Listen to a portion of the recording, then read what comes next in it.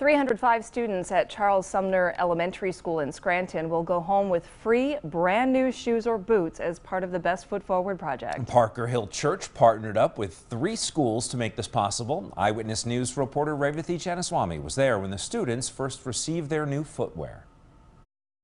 As we've been partnering with these schools, we asked them what they needed this Christmas, and all three schools said that they need shoes very badly.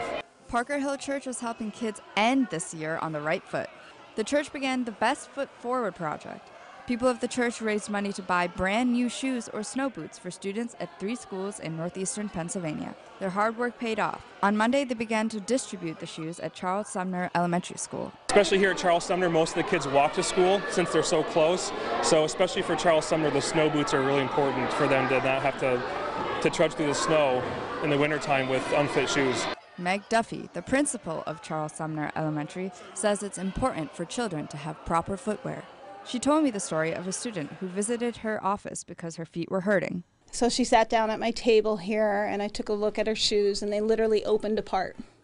Um, she didn't have socks on, her feet were all sores.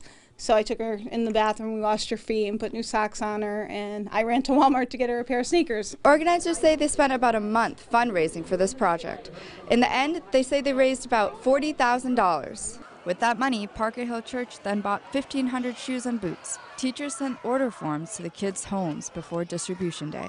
Volunteers helped the kids try on the shoes that they picked out. Brady Funkhauser says shoes are more than just a piece of clothing. Shoes are really important when you when you look into it, building confidence, um, self-image, and so we were able to partner with some local shoe stores to get really, really great name brand shoes and boots for a great price, so that they didn't have to wear really cheap shoes. In Scranton, Revathi Chanaswamy, Eyewitness News. Parker Hill Church will also distribute new shoes and boots to Daniel Flood Elementary School and Tunkhannock Intermediate.